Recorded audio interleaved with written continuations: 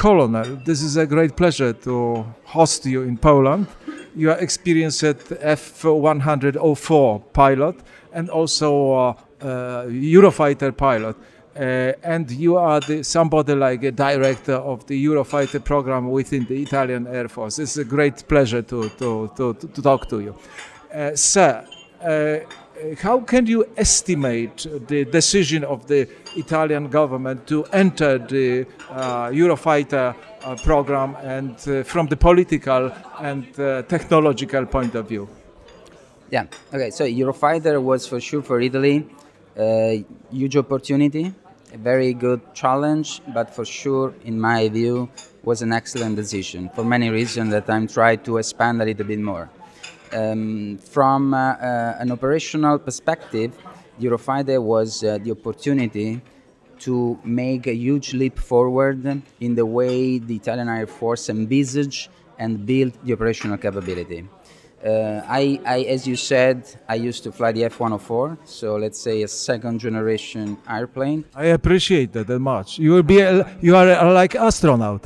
I survived, and uh, in 2004 I jumped uh, two fully generation ahead on the on the Eurofighter, and this was uh, quite a challenge, but was very very instructive not just for the capability itself, that the beginning was purely air-to-air, then it moved in the multi-role, full multi-role later on with the latest development, uh, but because the concept to building operational capability was completely different. So the idea that you were just procure a weapon system and then the operational pilot, the operational squadron were doing their best to fly it the best they could has changed in a different way where basically new avionic architecture allow you with the parametric software, with mission data dependent, to jump in and to fine tune the capability based on your skill.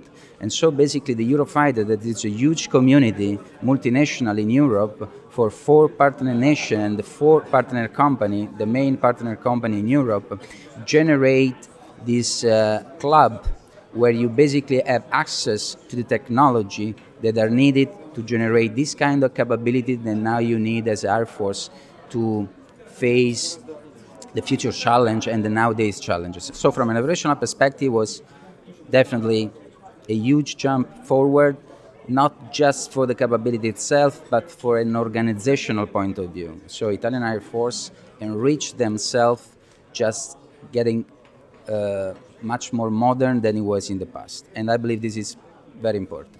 How? What about the tactical experience of the Italian Air Force? Because you have uh, uh, behind your belt some tactical uh, combat experience of of that uh, of the operational of uh, of the that fighter. Yes, absolutely. Uh, so since 2004, we were um, we got the initial combat readiness on the weapon system just one year later. So we start with air policing, either for Italy. We never stopped 24 uh, hours a day, 360 days uh, a year, so no stop. And also for the other allied partner, Iceland, uh, Lithuania, Baltic Air Police, um, and, and, as we speak, uh, we made the Unified Protector in Libya. That was the main asset of that operation, where we deployed uh, in our southern base in Trapani, and the platform showed a very, very strong efficiency and robustness with more than 99% of, uh, of uh, sorties. Um, and as we speak, the airplane is doing a, a race in, in, in, Kuwait. So we are flying in Kuwait. So we just came back from Iceland with um, very cold weather, and we are flying uh, this summer with 55 degrees in, in Kuwait. So the platform is very, uh, let's say, flexible, uh, very multi-role. It is, it is, because uh, uh, as I told, by design, it was born as purely air-to-air, -air, because basically this was this was uh, the follow-up uh, of the tornado. And in this respect, it's important to say that it was also a very good program to maintain the industrial base of UK, Germany, and Italy that were already committed with the tornado program. So there was a huge engineering community out of these uh, uh, aerospace defense uh, companies in Europe that took all the experience matured by Tornado and they brought it in the in the Eurofighter. Tornado, as a matter of fact, was uh, was uh, a technological bridge to the next generation, and this was so convincing that uh, also the club expanded to the Spain. And if you look retrospectively, what was uh, the Spanish uh, defense industry, the CASA, before the Eurofighter and right now, you may imagine that was a very, very good opportunity for all the community. Uh, excuse me, how those experiences could uh, be useful uh, when the Polish uh, government and the Polish MOD will select the uh, new generation fighter in the program Harpia. How uh, could be the Italian Air Force experience value for us uh, because we have uh, frequent visitors from the Italian Air Force, in, in, in the, namely the Eurofighters are frequently visiting us. Uh, to be honest, I don't have a full detail on the ARPA project, but uh, as you can imagine, there is no easy answer to, to this question. So uh, those uh, uh, procurement programs are very complex, very important, not just on a single domain of the operational capability, they expand in many other domains. So this is something that should be brought to the attention of politicians, starting from what is the Polish posture for defense. So what is how does uh, politics in, in, in Poland sees their um, their uh, uh, defense uh, defense uh, uh, endeavors. What capabilities do we need simply? Uh, but, but, I was just talking about not just about the capability. What is the role of industrial defense in Poland in respect to the operational capability. So, uh, in my view, and if I may, um, I believe that the, the current Italian defense policy in air combat uh, it's very, uh, very good. Uh, we are based basically uh, our concept on the double platform and double source of supplies that gives a procurement with US with the F-35 project the possibility to expose our Air Force, our technician, our engineer to the best edge technology, but on the same end, we can support and keep developing our industrial base with, uh, you know, with endogenous, with European multinational parties, where we have a full and uh, uh, profound access to the technology that we now need to fine-tune the capability. So I would suggest that uh, when you enter in this kind of big, huge, and long-lasting procurement contract, you need to ask yourself uh, what you are looking for.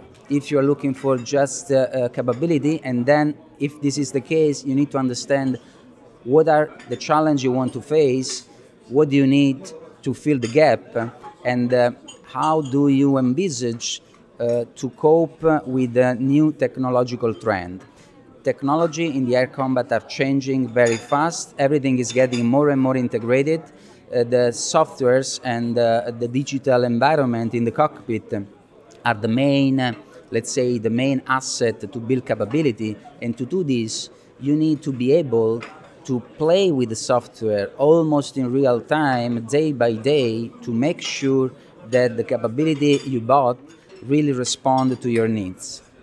Uh, the next question is about the future of the Eurofighter Typhoon uh, within uh, the ranks and uh, units of the Italian Air Force. Yes, so uh, as I as I said so far, Typhoon, the Eurofighter program, it's much more than a, a normal procurement contract. It's just you know it, it's a big club among Europe where you share knowledge, you share information to add value one over the others to make the best you can on the weapon system. As we started flying in 2003, the development of the platform never stopped with what we call so far the continuous development. Um, now the major new development is uh, the E-scan radar, that uh, is, is going to fly uh, on, uh, on a development airplane as we speak in those days and will be delivered in September next year to Kuwait Air Force that will procured, has procured 28 airplanes. The first one will be delivered next year with the first E-scan radar.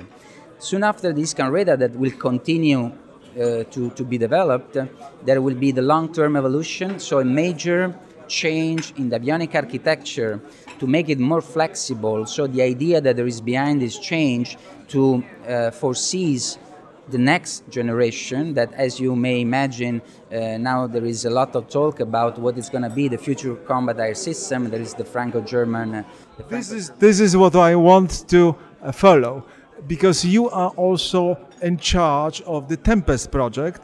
It means uh, Italian uh, Italian Air Force and Italy are going to enter uh, enter it already. The uh, Anglo International project of the new generation fighter. This is a Tempest. So this is connected in some way with the uh, constantly developing the the Eurofighter. I think. yeah, I, I'm, I'm I'm uh, involved in this uh, Tempest dialogue, and this is uh, definitely connected with uh, with Eurofighter. Since for Italy, the next generation air combat aircraft will be the normal, the natural son of the Eurofighter. So the Eurofighter, as a matter of fact, there is no other way. Uh, since employs the same skill, the same engineer, and the same uh, air forces uh, will be the technological bridge, as it was the Tornado for the Eurofighter, the Tornado will be the technological bridge for the next generation. Um, to be honest, the, the, the, the, dialogue, the narrative around the Tempest, it's, uh, it's very profound, uh, it's very important because uh, uh, we believe in Italy that the, legitimate Italian interest, not just the operational capability, but in general terms, uh, the support to our industry and all the, uh, the value and interest that there are behind uh, very complex and very valuable air forces, um, that all those Italian needs are much more protected if we join in a multinational environment where we try to fill the gap with a major play around the world since we have to recognize that now the market is completely uh, globalized and so any single nation by themselves uh, will not be able to face by themselves the technological endeavor, the, the, the technological challenges, uh, the operational challenges that the future may bring. In this respect, we need first of all to try to aggregate the demand so that the initial order are basically so important that you can accept to invest a lot of money, the money that are required in research and development to envisage top edge capability so that this investment, when you spread out on the, on the unit cost, has, let's say, a reasonable impact. And that's what Italy is doing with UK to try to model a new, innovative collaboration model among the industry and among the government to make it appealing to a wider community so that everybody can legitimate get what they uh, foresees the ambition in support industrial base in having fair and equitable return out of investment and so it's important in this phase that the European market is changing to make sure everybody find in this next program, whatever it is, the opportunity to get the overall package, not just the object, not just weapon system, not just the capability, but everything that is around uh, this program. In this respect, we believe that the dialogue that has been going so far with Italy and UK, it's uh, it's uh, pretty good. It's going in, in, the right direction. Nothing is still frozen. There is still a strong debate, uh, but we believe that uh, as a good opportunity to, to take off. Thank you very much, Colonel. A lot of uh, interesting informations, and uh, I wish you a great success in both in developing the, the still versatile and uh, most modern uh, Eurofighters, and also success in Tempest program. Thank you very much, and uh, I hope this is not the last time you are in Poland, and we look forward for your frequent visits in Poland. Thank you so much.